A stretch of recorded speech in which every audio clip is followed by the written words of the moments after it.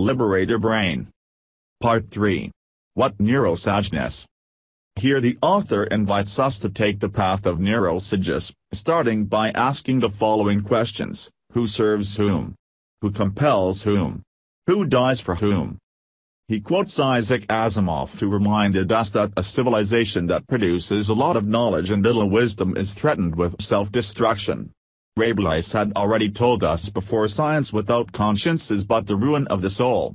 The human being is greater than all his creations, school, hospital. In this chapter, he begins by presenting his own background. His university studies are impressive, University of Paris-Saclay, École Normale Supérieure, which he describes as hell, Cambridge University, Paradise, and Stanford.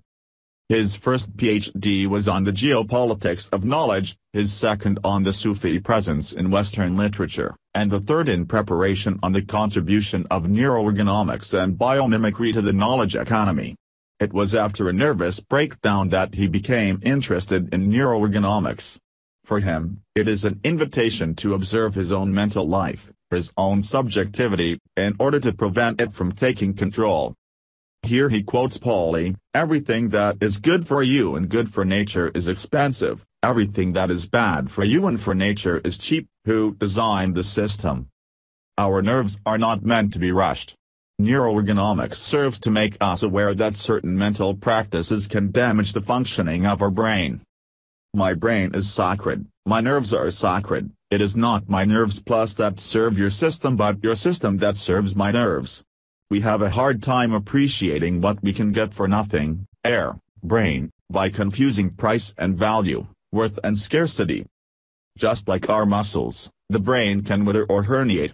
Our brain hates to perform a task without knowing the reason for it. Evolution has created it not to lend itself to this kind of exercise and to go through various mental states. When you share a material good, you divide it, when you share an immaterial good, you multiply it. Quote from Idriss Aberkane, author of Free Your Brain. To conclude, the author advises us to do seven gymnotics, gymnastics of the mind, exercises to keep our brains free and in good shape. 1. Practice clear subjectivity. This is observing your mind in Buddhist terms or observing your mental life in neuroscientific terms. In concrete terms, it means observing the biases, limits, automatisms and conditioned reactions of our mind. We are then better able to recognize its subjectivity and the illusion that we can give ourselves of being objective. For the author, it is a matter of mental hygiene to protect ourselves from internal and external nervous pollution. If body hygiene seems obvious to us because we have become conscious of our body, we are not conscious of our mind. Well, to train oneself to high consciousness of one's mental life, to make it a second nature, is to practice limpid subjectivity. I feel like recalling here the quotation from Montaigne quoted in the preface True science is an ignorance that is known. 2. Know how to uninstall an application. Here the author invites us to sort out our applications that may have been installed from birth. As for the phones, it is important to know how to uninstall the energy-consuming applications to avoid rowing. If you practice limpid subjectivity, you will identify the useless, dangerous and castrating seals that have settled in your mind without your knowledge. He reassures us that even if we feel like we are losing part of our identity by uninstalling a Rottweiler, Nothing could be further from the truth. Taking back control of your mental life is always a liberation. 3. Move from learn helplessness to learn power.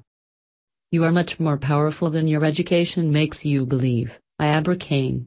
He considers learned helplessness, I don't deserve it, I can't do it, to be the most dangerous and widespread curse in humanity. We are imprisoned by mental chains that prevent us from reaching our full potential. 4 be a liberated neophile. After practicing the learned power that comes from uninstalling the poireseals and limpid subjectivity, one may ask, when was the last time I did something for the first time? Indeed, as we move from powerlessness to power, we will give ourselves more permission to do new activities, to embark on new challenges, and to become neophiles, enthusiasts of the new. 5. Practice exploration or the art of mental flexibility. The more you practice neophilia, the more you expand your mental life. The author compares it to stretching a muscle, more flexible, more adaptable, and therefore capable of more varied postures. Hence the importance of balancing exploitation, normative, carrot and stick sensitive, with exploration, creative, open, imaginative, non compliant. The American scientist Alexander Wissner-Gross defined intelligence as the ability to reserve a maximum of freedom of action, a maximum of open options. Free systems are the basis for building intelligent systems. Dot dot and intelligence is freedom. We believe that this article on improved memory will benefit you since it deals with a similar subject. Here is an article on this subject where you will find more information. 6. Practice the places method. To memorize information, there is nothing better than to spatialize your thoughts. The palette of your mental life begins with space, but it continues with emotional memory and association memory. Burton says make your thought an empire. This tool reinforces the practice of clear subjectivity and learn power. 7. Ignore your peers. Peers put us on their level, mentally, intellectually, spiritually. In order to be free, it is necessary to detach oneself from the opinions of others. If intelligence is freedom, then intelligence is the ability to think for oneself, without worrying about what others think. Burton recommended do what your humanity tells you. Don't expect applause from anyone but yourself. He lives noblest and dies noblest who follows the rules he has created for himself. Any other life is a dead living death.